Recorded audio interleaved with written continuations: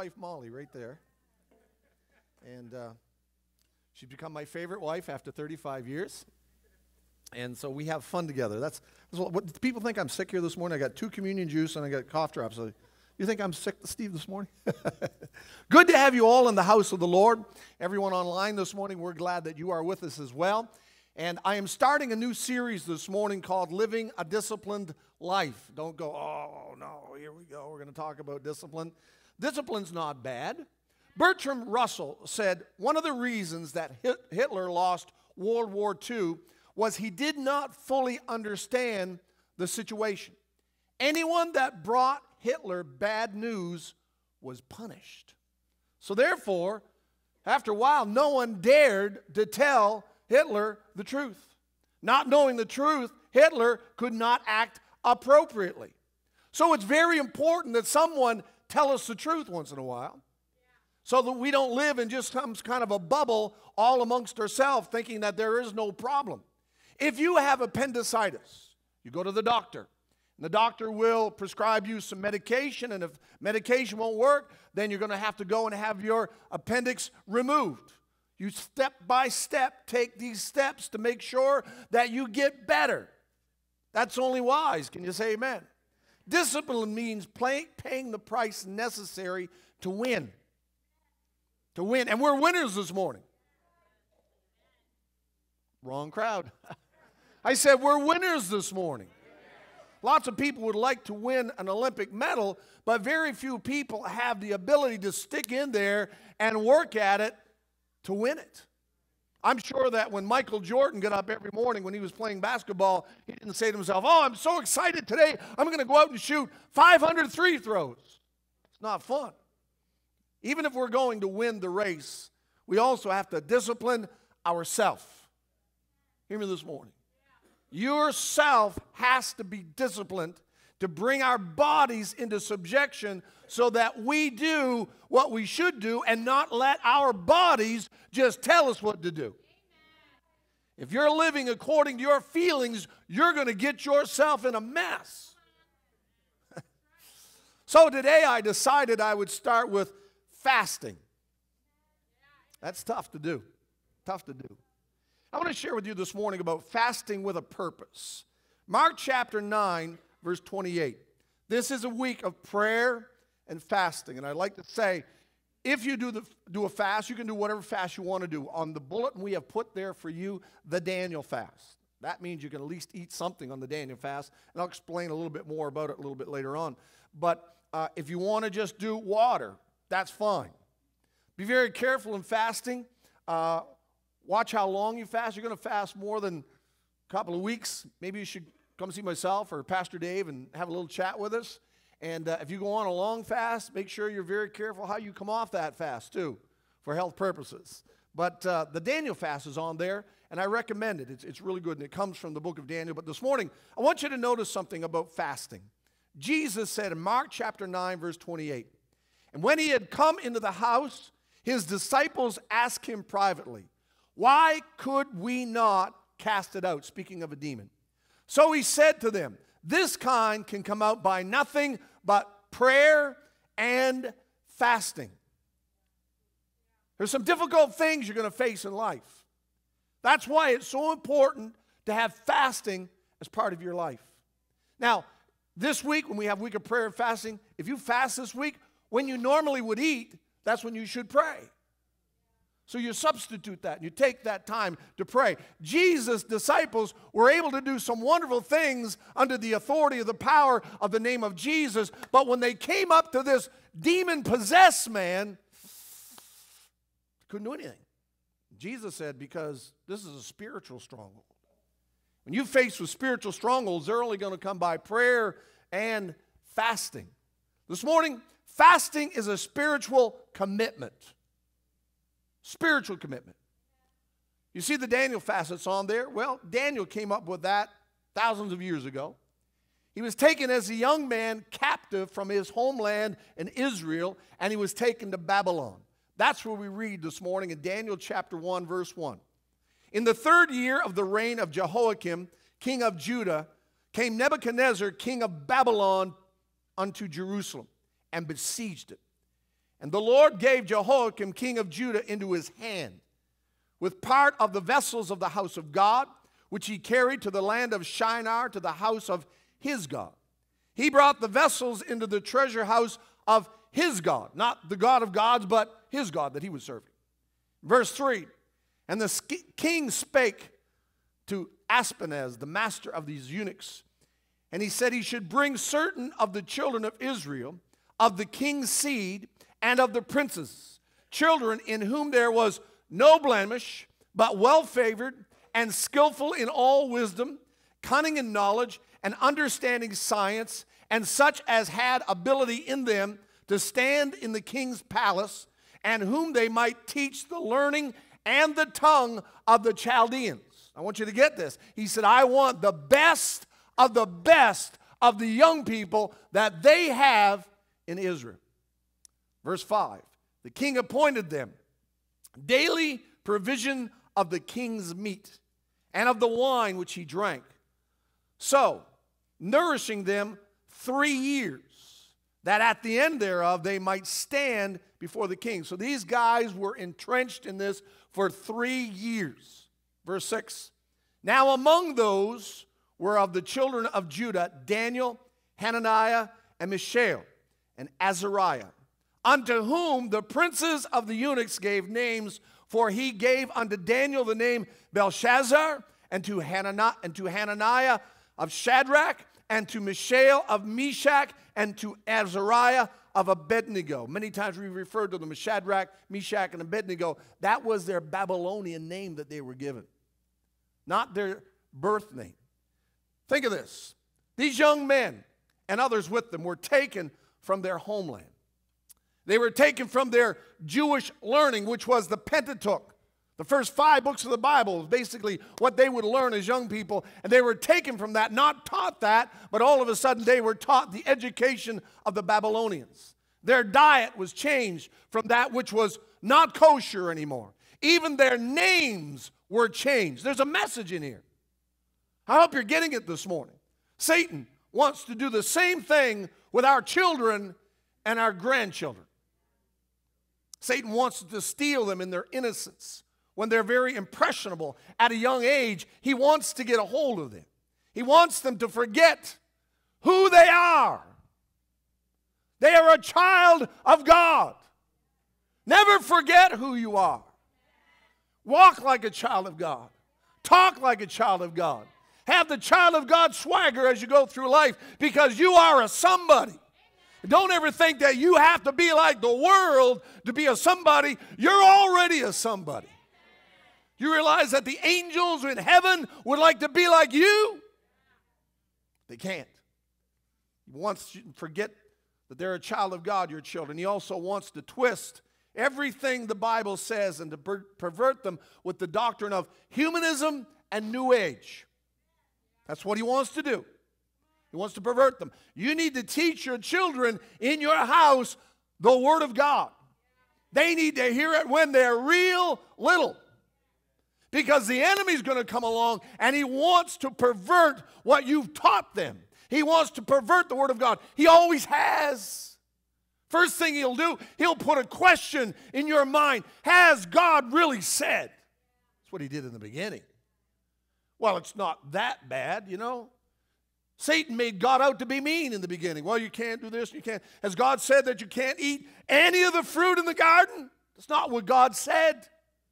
God said there's one fruit, the knowledge of tree of the knowledge of good and evil. You can't eat of that fruit, but he twisted it. Parents, we need to fast and to pray for our children and our grandchildren. Verse 8. But Daniel purposed in his heart that he would not be defiled or defile himself with a portion of the king's meat, nor with the wine which he drank. Therefore, he requested of the prince of the eunuchs that he might not defile himself. His parents had inbred something in Daniel. Daniel was one of the greatest characters and spiritual men of the entire Bible. Do you realize because of Daniel, Hananiah, Azariah, and Mishael, those four men, do you realize because of them, the land of Babylon eventually had a king that said, Don't you ever say anything about the God of the Hebrews. And he also sent them back to their land. He sent them back so that they could rebuild their temple. Think of what God can do in your life, the life of your children, the life of your grandchildren, if they're wholly given to God. Daniel was very clear in his objection to the Babylonian food that they had. The king's food was against Jewish dietary laws, and also the king of Babylon's food had been food that was offered up to idols and demons. And he said, We're not going to eat this stuff. And the eunuch said, Well, hey, if you read the story, you're going to make me look bad if you guys are all looking sickly and weak. And, David, and Daniel said, No, no, you let us eat our food, what we eat. And after that certain amount of time goes by, a week, he said, You come and take a look at us. And if we look worse, we'll have to give it up. They came back and they looked healthier than anybody else. I'm telling you, you can do nothing wrong but bring your children up around the things of God. You want them to excel in the things of this world. You want them to overcome the battle of depression and fear and anxiety. Teach them about the things of God. Daniel, fast involved a spiritual commitment to God. I read it again, Daniel 1 and 8. Daniel proposed or purposed in his heart that he would not defile himself. 1 Corinthians chapter 6 verse 19. Y'all still with me this morning? Amen. Amen. 1 Corinthians 6 19. Paul said, Do you not know that your body is the temple of the Holy Spirit who is in you? Serious business. Whom you have from God, and you are not your own. That is contrary to humanism right there. Human says it's my body and I can do whatever I want with it. Not what the Word of God says. It says in verse 20, You were bought at a price. Therefore, glorify God in your body and in your spirit, which are God's. Our body is where the Holy Spirit resides. Think of that. If you've given your life to Christ, Ask Christ to come in. The Holy Spirit's in your life. The Holy Spirit resides within you. The Holy Spirit is within you for a purpose. It is to convict you of sin. It also is to show you and to give you the will to do what is right. Bible says in Philippians 2:13, "For it is God who works in you both to will and to do for his good pleasure." To will and to do. You say, well, I just can't do it. No, if you'll listen to the Holy Spirit and do the right thing, it'll give you the will to do the right thing. Can you say an amen this morning? So listen to the conviction of the Holy Spirit. Many people have an inner desire to have better health or better life or do better things, but they just can't keep themselves from junk food. You know, I say ouch to that one this morning. I love chips, man telling you, I love chips with everything that is within me. There's times my wife won't even allow me to go down the chip aisle. It says, No, you don't need to go down that aisle. Don't go down that aisle. Because I love chips. I mean, some, some of you have a problem with sweets and stuff like that. Not me. You can have all the cake you want. You can have all the cupcakes you want. You can have all the pies you want. Just let me go down the chip aisle. Bible says in 3, in 3 John verse 2, it says, Beloved, I pray that you may prosper in all things. God wants us to prosper in all things. It's the Word of God. And be in health, just as your soul prospers. So I believe that God wants us to prosper in all things, but I believe that God wants us to have a healthy body as well. Fasting helps you physically, it's good for you. I didn't realize this, but I found out this week that our youth leaders, they fast a day every week. That blessed me. I said, wow, that's great. That's wonderful. See, fasting is a spiritual commitment. Secondly, fasting is humbling ourselves. Certain things we just don't want to do, but we have to humble ourselves to do them. And true humility, when you're truly humble before God, that gets the attention of God. Yes, prayer gets the attention of God, but when you humbly come before God, you get the attention of Almighty God. 1 Peter chapter 5 verse 5. Likewise, you younger people, submit yourself to your elders. Yes, all of you be in submission to one another and be clothed with humility. Why? For God resists the proud but gives grace to the humble. Therefore, humble yourself under the mighty hand of God that he may exalt you in due time. So when you humble yourself before God, it's going to do you good. You're going to find grace that you need, and you're going to have all the uh, exaltation in God's time, not your time. Humble yourself to God. Say, God, I, I don't know what you're doing. I don't understand. Humble yourself. Humble yourself. God resists and opposes those who do, don't walk in humility. But I like what he says God, on the other hand, gives grace to the humble.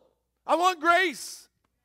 When I stand before God, there's only one thing I want I want grace, I want mercy. Therefore, we should show mercy to others. Can you say amen? Blessed are the merciful, Jesus said, for they shall obtain mercy. Fasting is a spiritual means of truly humbling ourselves before God. Now, sometimes it takes a lot of grace to make it through life. I don't know about you, but have you noticed that life is spelled L I F E? Right in the middle of life is an if. That lets us know that we're going to go through stuff in life. When your back is against the wall and you don't know what to do, when you're in a hard place in life, we need even greater measures of grace to make it through. And God will help you. You say, What do I do? That's a really good time to say, God, I'm going to go before you and I'm going to fast. And I'm going to pray about this. That's exactly what Ezra did. In Ezra chapter 8, Ezra called the people to a fast. He realized that they were in desperate need. And when they were in desperate need, he said, God, these are desperate times and we're going to take desperate measures. So we need you to give us the answer. You knew the only way to get there was through humbling yourself in prayer and fasting. And that's Ezra chapter 8, verse 21. Then Ezra said, Then I proclaimed a fast there at the river of Ahava, that we might humble ourselves before our God. He proclaimed a fast. Why? So they might humble themselves before God to seek from Him the right way for us and our little ones and all our possessions. Fasting from a sincere heart will get God's attention. God's concerned about you because He loves you. True humility is also the pathway to God's blessing. 1 Peter chapter 5 verse 6 again. Therefore humble yourself under the mighty hand of God that he may exalt you in due time. That exalting is going to come. Not that people are going to come and bow down, but He'll put you in that place that He has prepared for you. I believe that every person, God has a plan for their life. You want to find that plan? Humble yourself before God. Live a life of prayer and fasting, and God will bring you to that place in your lifetime because that's a promise of God's Word. You realize that God's way is the best way? Well, that's easy to amen, isn't it? But when we don't want to go God's way, we just kind of keep that to ourselves and do our own thing. Yet so often we, we just get ourselves in a difficult situation, and instead of humbling ourselves, we complain or we try to manipulate the situation to work it out the way we want to work it out. The Bible says there's a way that seems right unto man, but the end thereof is the ways of death. It usually doesn't work out well. Here's what happens when we try when we complain, as a child of God, and we try to manipulate to make you know it happen the way we want to make it happen, it makes God look weak. We serve a God that's all powerful. Amens are getting weaker and weaker. we serve a God that is all powerful this morning, and what you need, God can provide it, and He will provide it. And when you're backed up against a wall, God will take care of you. Live it. Don't make God look weak. Reading in Ezra chapter 8 again, verse 22. For I was ashamed, Ezra said, to request, you got to get this, to request of the king an escort of soldiers and horsemen to help us against the enemy on the road because we had spoken to the king, saying, Here's what they said to the king the hand of our God is upon all those for good who seek him. But his power and his wrath are against all those who forsake him. So we fasted and entreated our God for this. And guess what? He answered our prayer. He said, We didn't want to go before the king, and we didn't want to ask him, You provide a protection for us and soldiers for us, because we testified that God would take care of us. So he didn't go to the king and try to manipulate. Okay, God, we're going to go, but I'm going to go to the king and make sure he'll give us something to go with. We'll, so we'll have some soldiers. He said, God, we told the king you'd take care of us. Now we better walk it. We better live it. We better show it and talk it in our life. Fasting is humbling yourself before God. Also, fasting shows true repentance. True repentance obtains God's mercy and forgiveness. True repentance. Sometimes repentance is not always true. Bible says in Joel chapter 2 verse 12, "Now therefore says the Lord, turn to me with all your heart, with fasting, with weeping, and with mourning." That's sincere stuff right there. Notice what's involved there. Turn your heart, all your heart, fasting, weeping, and mourning. God wants to see that we really mean business, that we're not just playing games with God. It's easy to go to church, I'll be honest with you. I've been in church for 55 years, a little over 55 years now, because I've been, to church, been in church all of my life. And I have seen people, and there have been times in my life I played church games. Play church games. But God wants to see in our life if we really mean business or just playing games. You see, evidence is true repentance. That's the person that completely yields themselves to God. Goes on in Joel and says this, Joel 2:13. So rend your heart and not your garments. Years ago, if they were, you know, showing themselves as repentant or sorrow or whatever, they rend their garments. God said, rend your heart, not your garment. You can rend your garment everybody say, oh, look, look at them, how, how repentant they are, you know? Well, it just was a look. But was their heart truly repentant? That's what God looks at. He looks at your heart. So rend your heart, not your garments. Return to the Lord your God, for he is gracious and merciful, slow to anger, and of great kindness. And he relents from doing harm. Can you say, Praise the Lord? Who knows if he will turn and relent and leave a blessing behind him, a grain offering and a drink offering for the Lord your God? True repentance. True repentance is something that. Uh, gives us power over our flesh. Y'all realize we battle with the flesh, right? Battle with the flesh. when you don't want to do the right thing, you're battling with your flesh. We all have that struggle within us, and we'll have it until, until we die and get to heaven on the other side. And Jesus warned us in the Word, He said, The Spirit is willing, but the flesh is weak. You don't come to church and the Holy Spirit is there. Do you feel the presence of God? Yes, Lord, this is the way I want to live. I want to live that way. And then you walk out, and the flesh gets weak.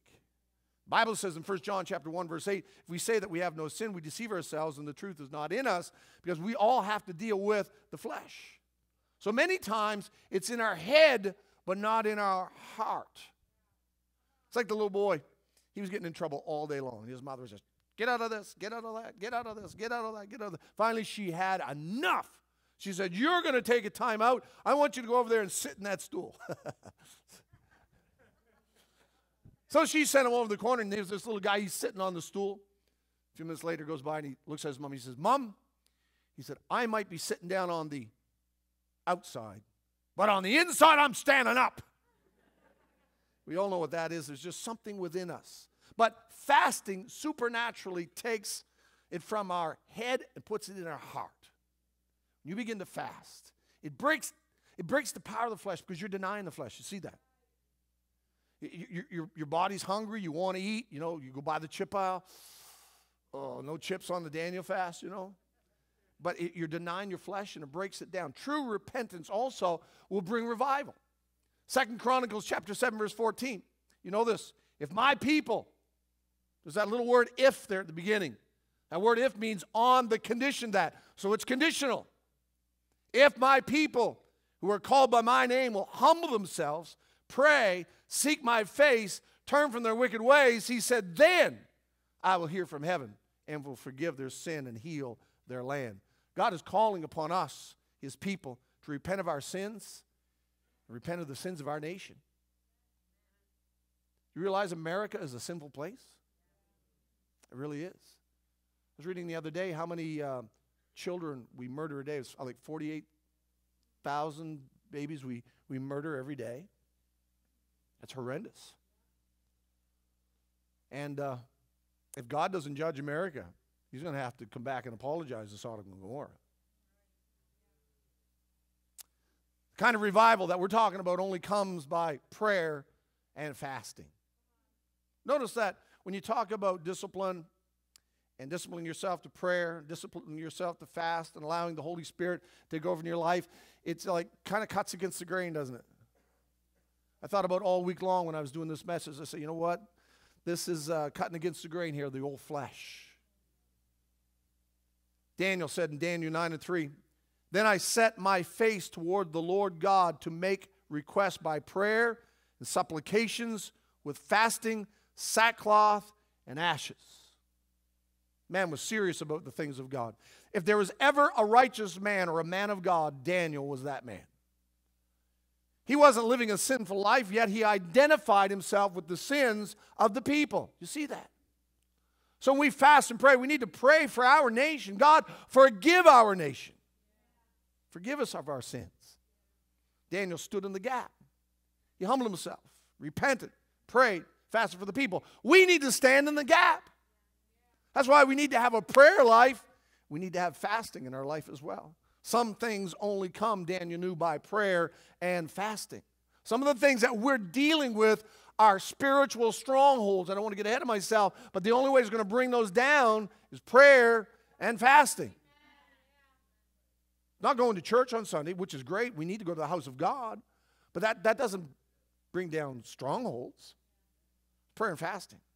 Fasting shows true repentance, and also fasting brings, brings spiritual breakthroughs. It's a spiritual weapon. There's certain things that you, you just you have no weaponry for because it's spiritual stuff. So therefore, we have spiritual battles, we have to use spiritual weaponry. But if we're not using spiritual weaponry, we're losing. We're losing the battle. Don't raise your hand this morning, but you ever felt like, man, I'm just, I'm really losing the battle with my old flesh? Fasting. It's one of our spiritual weapons. Prayer, one of our spiritual weapons. It's a weapon, however, that too few Christians actually use. Matthew chapter 6, verse 19. Jesus is speaking here. Notice what he said. Moreover, when you fast, do not be like the hypocrites with a sad countenance for they disfigure their faces that they appear to men to be fasting. And surely I say to you, they have their reward. This is, this is humorous to me. Where were you when the lights went out? Anyhow, that scripture is humorous to me because these guys were trying to mark up their face and make everybody look, he must be fasting. Look how gaunt he looks. Look how weak he looks. Jesus said, Don't do that you fast, as you should go about as if nothing's going on. You're feeling great.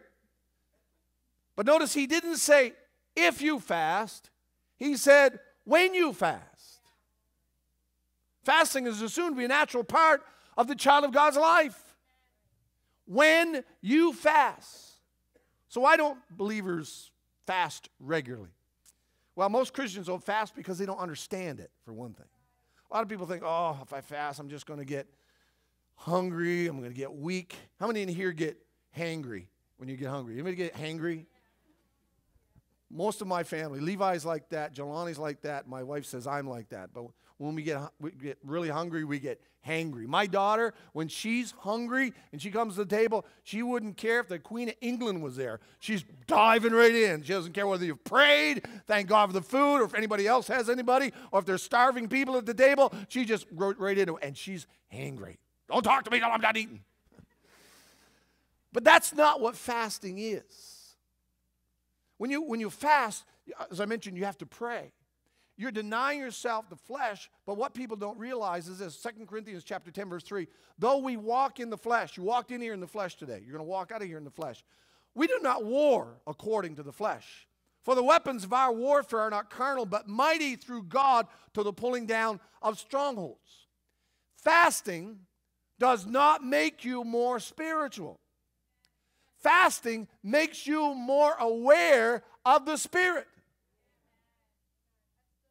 Because you are, you, are, you are humbling yourself before God. You're saying, God, when I should be eating, I'm going to pray and I'm going to talk to you and I'm going to do without food or you're on the Daniel fast, whatever. And it makes you more aware of the spirit realm. And therefore, when you pray, you'll find your praying is different when you're praying aware to the Spirit. 1 Corinthians 2:14. But the natural man does not receive the things of the Spirit of God, for they are foolishness to him.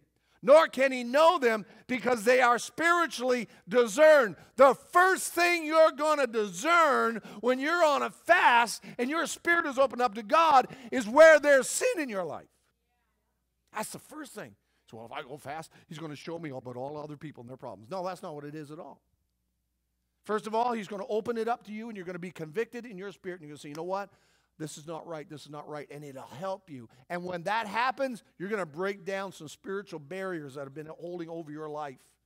Because you're going to say, God, I've been wrong. You're going to repent. True repentance is going to come. Humility is going to come because you've been opened up to the Spirit of God. Also, it'll make you have a burden for others, the needs of others. Sometimes you'll find when you're fasting and praying, and all of a sudden you'll become broken for other people because you have a, a, a, prayer that comes over you and a burden that comes over you for other people, and you'll begin to pray for them. God will open up to you in the spirit realm exactly what's going on. Paul tells us that we can't understand the things of the Spirit because we walk around a lot of times in the flesh. We have to walk in the flesh. We talk in the flesh. But every once in a while, you need to get alone with God and presence of God and pray to God. And listen, when you pray, pray however you want. You know, don't watch how Natasha prays. Don't watch how Nicole prays. Don't watch how Ralph prays or Stephen prays Pastor Dave or Pastor Ram. Don't, don't watch us. You, it's you. You need to talk to God from your heart. And there's many times I don't say anything. I sit in the presence of God and I just let God speak to me. I don't know about you, but you you ever know certain people? I know one guy. He's from Massachusetts, so he doesn't come to church, but one guy. And if I ask him a question, that's it. I won't say another word for about another two hours. I'll say, and I, I literally, I hate to ask the guy a question. I ask him a question, it's, no, no, no, no, no, no, well, let me tell you about, no, no, no, no, no, and it goes from this to this, to this never closes this not at all. So I, I just, I don't want to ask him a question at all. I really fear asking the guy a question. Sometimes we're like that with God. We're just, oh, God, I need this, God, I need that, and God, I want this, and God, I need that, and God, I want this. We just come to God like he's a candy store. You know? That's what God. God knows our needs before we ever ask Him. God doesn't have a problems with you go and say, God, I need a healing in my life. But once I tell God, God, I need healing in my life, I know God knows that. And I come before God, many times I'll just sit and allow the Holy Spirit to speak to me. And I was taught when I was real little by my mother a prayer. I'll never forget it. She used to do the kids' church when I was a little kid, toddler. And she would tell the kids, when they pray, she said, just say, Jesus, I love you. And I'd say, Jesus, I love you. Jesus, I love you. Something powerful about that. That's a powerful prayer right there. I know you say, well, it's not very deep and they're not using the King James language. You know, some, some people, when they pray, they, they pray the King James language. Thou, Heavenly Father, thou art, you know. You don't have to do that. You just have to be real before God. And if you're not a talky person around other people, you're likely not going to be a talky person in your prayer because your personality is going to come out when you're talking to your best friend, which is God. Talk to him. Talk to him. And if you've never fasted, why don't you try it? Try it. Say, well, I don't know if I can do a full week. I don't know what I can do, um, you know, two weeks. Jentezen Franklin, he always promotes the, that 21 day fast, which they start, I believe, today in uh, his churches that he pastors. But whatever you can do, youth, they do one day a week. Try it. Try it before God. Prayer. Prayer should be part of your everyday life. Not once a week, not on Sunday, every day. I prayed this morning, 6 o'clock in the morning. I was coming down 37 and it was icy. It was icy on the roads this morning. I, but I was praying, talking to God. Not God keep the truck on the road, but I was just telling God, I love you. And I prayed for a great day at Praise Tabernacle. I prayed that the anointing would be here. And I just told God how much I loved him. And I prayed for my wife. I prayed for my children, my grandchildren. I prayed for them on my way over here. And it's almost like every morning that's, that's a, something I do. And then I like to get alone with the Word of God and talk to God through His Word. I read it, meditate on God's Word, does something for me. Do you ever notice the older you get, the less sleep you get? Anybody notice that? My wife gets up about around 3, 3.30, 4 o'clock, and uh, every day. she goes downstairs, and I, I, look, she's got all her, her devotional books and her Bible there, and she's writing her notes in it. Uh, she, she's feeding herself. You got to feed yourself. Here's what happens you become a pushover for the enemy. You say, well, I don't, I'm, you know, I, am just not as spiritual as you, pastor, or your wife. Baloney. You're just allowing yourself to be a spiritual wimp. You need to eat the Word of God. You need to feed on the presence of God and the Holy Spirit of God in your life. And all of a sudden, what does that do? That strengthens you. You're not going to come out of prayer and sin. It's not what you do. You're going to come out of prayer and fast and say, you know what? I think I'll go rob a bank. It's just not going to happen that way. Because what happens is, is it changes you on the inside out. It makes a difference. And that's why you need to pray and talk to the Lord. It's got to be more than now I lay me down to sleep. I pray the Lord my soul to keep. If I should die before I wake, you know, that's it's got to be more than that. That's you got to you're talking to your friend. If I came home every day and said to my wife, "Hey, I like you. You're nice. Nice supper. Have a nice night." You know, it's not going to work that way. Because I come home to her and I tell her from my heart how I feel about her. That's what God wants from the heart. Fasting is part of living a disciplined life. Amen. I'd like for our ushers to get ready this morning. We're going to have communion today. It's the first Sunday of the month of January. What a privilege we have this morning to go before the Lord and remember the Last Supper. You realize you need a healing in your physical body? It can take place this morning, right now. It can take place. When all the power went off, so did the clock go off. So I'm looking at my watch this morning. You need a healing in your life today. God is bigger than cancer. He's bigger than a back problem, bigger than aneurysms. He's bigger, bigger than it all. I believe that God can heal of anything, of anything. As your faith be, the Bible says, so be it unto you, as your faith is. Let's have faith in Him this morning. And as we enter into this new year today that we've entered into, let's just say, God, I thank you for the hope that I have in you. Thank Him every day. Lord, I thank you for the hope that I have in you. Don't complain about life. Begin to thank God for what He's done for you. Bring your thanks before God. The Bible says that we are to pray without ceasing, that we are to bring our thanksgiving before God at all times. Paul said he was thankful, whatever state he was in, he had learned to be content. And he talked about thankfulness. I found that when I be thankful before God, that a lot of times all those things that I thought about that were negative, they kind of go away because I'd be thankful to the Lord. Would you stand with us this morning if you would? Just before we take communion this morning, I just want to explain something about communion. Communion, we are remembering the blood of Jesus and the body of Christ. I do not believe in transubstantiation. I don't believe that this blood's going to turn into the literal blood of Jesus Christ, and I don't believe that the wafer is going to turn into the literal body of Christ. It doesn't have to. Jesus, when he died on the cross, he said, It is finished. It's over. Jesus said, This do in remembrance of me. So today, I'm thanking God for what he's done. Bread represents the body of Christ. We now are the body of Christ. Members in particular, the Bible says. We need to be good to the body. You need to love one another. You know where love needs to start? It needs to start right in your home with your spouse and your children and your immediate family. And then it needs to also extend out to those that are in the church, in the body of Christ, whether it's this church or another church. We need to love on people. It's so sad when Christians don't talk to each other. I believe that grieves the very heart of God. I really do. And so today, forgive people. Learn in your life to forgive immediately. And the blood represents Christ's powerful blood that covers all of our sins. I'm thankful for that this morning. You see, when God looks at me today, I'm righteous.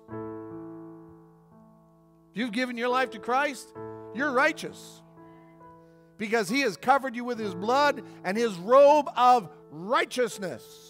Don't ever let the devil tell you you're no good because you're a child of God and you are righteous. Yeah, but I got upset last night. I kicked the dog. Well, your flesh came alive for a minute. You ask God to forgive you for kicking the dog. You're still righteous.